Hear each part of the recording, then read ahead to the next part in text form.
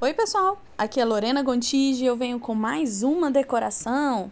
Pessoal, esse bolo é um bolo de 15 centímetros por 10 de altura, não adianta, quarentena, é o máximo que estamos fazendo. Gente, mas eu sou apaixonada por fazer bolos pequenos, já disse isso pra vocês.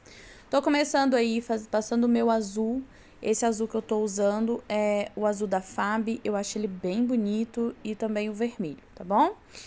Gente, eu não fiz pré-camada porque eu tenho confiança no meu bolo que ele não vai soltar farelo. Se o seu bolo, se a massa que você usa solta farelinho, não, é, você precisa fazer a pré-camada. Eu aí tenho segurança que não vai soltar nenhum farelinho na minha, no meio da minha massa, tá? Então, por isso, eu não passei a pré-camada. A pré-camada serve basicamente pra gente tampar os buraquinhos que tem, né? No nosso bolo, né? Deixar o bolo mais nivelado e também segurar qualquer é, farelinho que solta do nosso bolo. Então, pessoal, eu comecei passando o azul. Este azul que eu passei, vocês viram que eu coloquei ele até um pouco mais da metade do bolo, mas eu queria fazer meio a meio, azul e vermelho. Mas por que, que eu levantei um pouquinho, coloquei um pouco a mais da metade? Porque quando a gente vai fazer a nossa quina na parte de cima, querendo ou não, a gente coloca um centímetro a mais de chantilly. Então, por isso, a parte de baixo, eu coloquei um pouquinho a mais de chantilly azul para ficar igualzinho, vermelho e o, o azul. Pode ver que tem duas listrinhas no azul, duas listrinhas no vermelho, entendeu?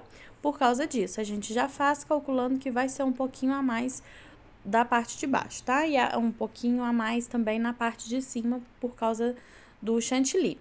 Eu simplesmente passei aí, fiz o trabalho com espátula. Pessoal, tá em alta o trabalho de espátula, não adianta. Vocês vão ter que aprender o trabalho espatulado, porque é uma coisa que está em alta e todo mundo está procurando. A maioria dos meus clientes já chega falando: eu quero trabalho espatulado, eu quero tal espátula, eles já estão até entendidos de espátula, de tanto que eu falo. Enfim. E eu imprimi o topper da Mulher Maravilha, passei aí o álcool de cereal com o, pó dourado e fiz essa cinturinha aí, essa bordinha aí no meio entre o azul e o vermelho para dar esse contraste, tá? Com o dourado. Eu joguei com aerógrafo, mas você pode jogar com a bombinha que também funciona.